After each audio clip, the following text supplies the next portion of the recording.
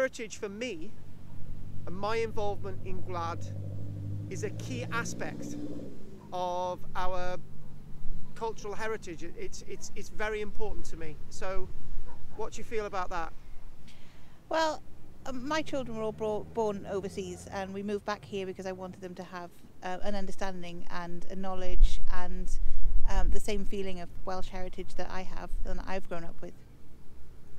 Well, I'm 18. I'm just come out of uh, secondary school. I'm in my A levels, and it's really important that Welsh people get a sense of their own history, their own culture, their own heritage, you know, their own community as well. And this is quite frankly quite disappointing that uh, Labour have not given the tools that we need for young people to, to really have an understanding of their own heritage. So heritage should be and is at the forefront of the Gwlad campaign.